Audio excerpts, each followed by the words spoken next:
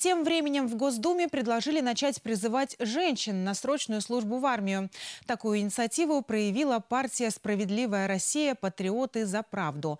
Также депутаты поддержали предложение сенатора Совета Федерации Владимира Джабарова увеличить длительность обучения срочников до двух лет.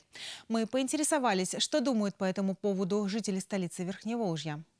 Нужно ли обязательно женщин призывать на срочную службу в армию?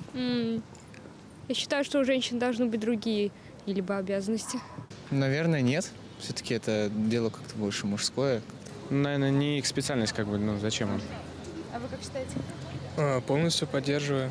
В любом случае, женщин-то хрупкие существа, как говорят, и их надо защищать.